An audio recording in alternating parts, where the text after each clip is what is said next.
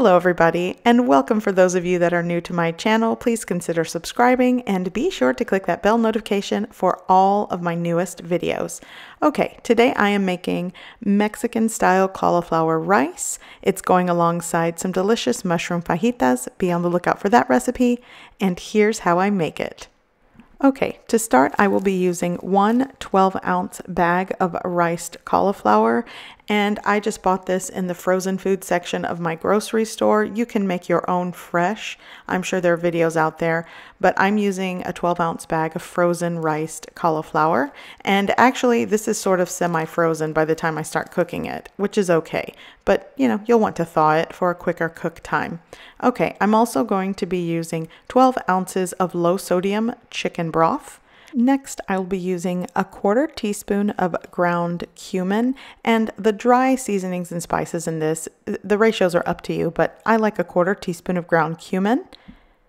And I will also be using a half teaspoon of granulated garlic powder, a half teaspoon of granulated onion powder, and I will also be using one tablespoon of tomato paste.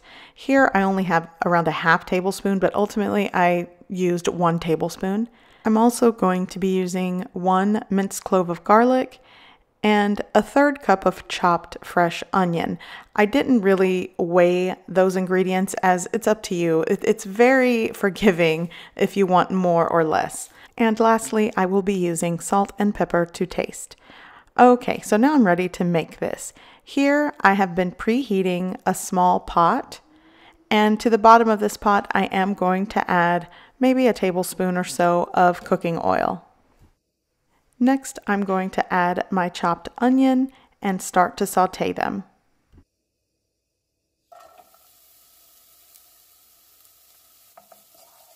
Once the onions start to soften, I am going to go ahead and start adding my garlic and then just continue sauteing.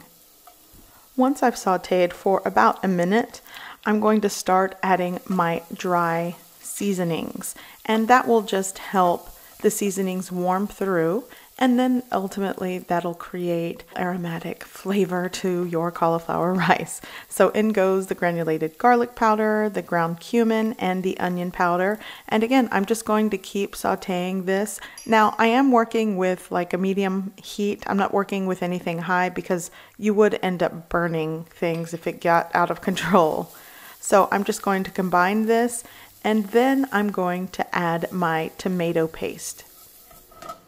As I stated earlier, I started with a half tablespoon of tomato paste, but ultimately I used a full tablespoon because I thought it needed more.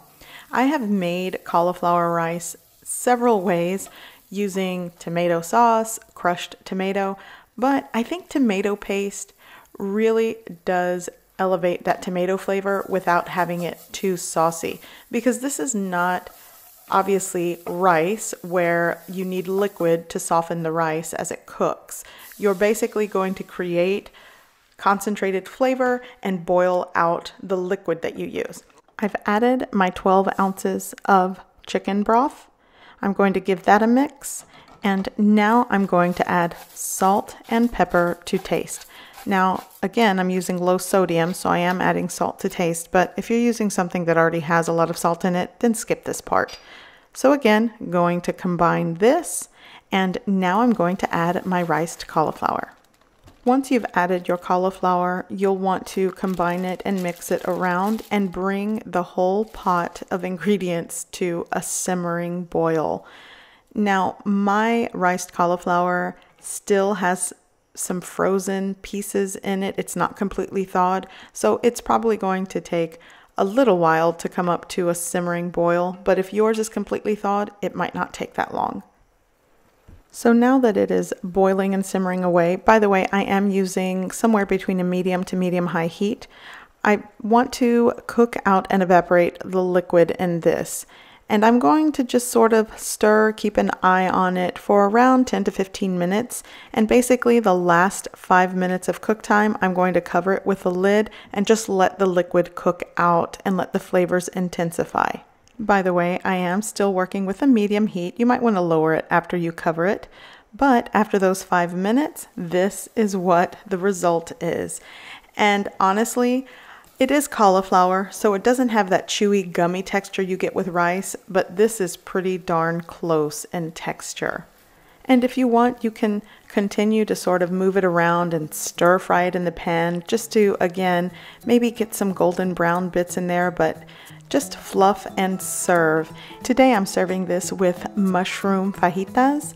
I will link that recipe below this video and at the end, but take a look at this rice. So if you are looking for a low carb version of Mexican style rice, here's your recipe and it's very easy. Well, I certainly hope you enjoyed this recipe video. Please consider subscribing and be sure to click the bell notification to make sure you get my latest videos. So my low carb meal is served and we are ready to eat. I hope you give this recipe a try. I hope you like it and thanks for watching.